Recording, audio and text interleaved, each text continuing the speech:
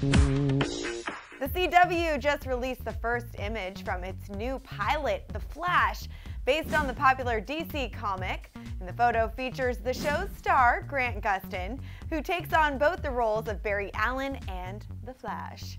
Production on the pilot begins next week and is being spearheaded by the same team that currently produces another CW hit, Arrow.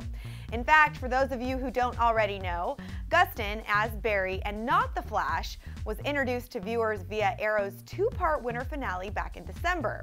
So in this image, we see The Flash smiling and his suit, well, we only see part of it, but guys, it's really receiving great feedback, even being described by some as gritty. So call me biased, I'll let you know.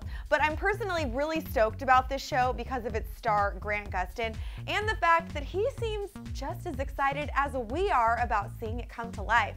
In fact, he tweeted this out, quote, getting more and more excited by the minute during this week of pre-production. Can't wait to shoot. And you know what, Grant? We can't wait to see you in action either.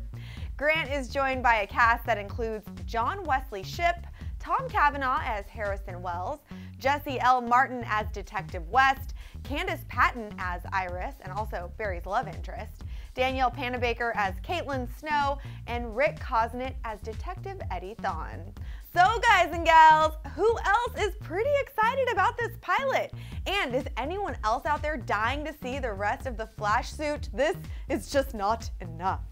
Give us your reactions to the first look by hitting the comment section. And while you're watching, click right on over here to check out our first ever interview with Grant Gustin from back in his Glee days. I promise you're gonna love it. Thanks so much for watching. I'm Jocelyn Davis, and I'll see you next time.